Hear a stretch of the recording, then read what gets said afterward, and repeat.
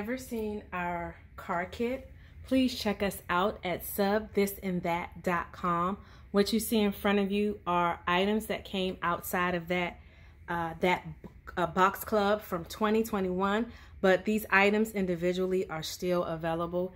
I made the sunglass um, case to stay in my car. I keep a pair of sunglasses in my car. So this is a trash can holder. There's an air freshener. Um, a coaster for your cup. God, just went out of my mind. Um, a car coaster. There's a power cord, a tissue holder.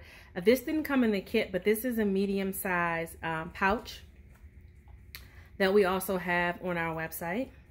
I love my Hyundai Palisade, guys. Um, so yes, that is why I wanted to make this design and I brought these items out to show you. So thanks for stopping by this Fast Break Friday and I'll see you in the next video.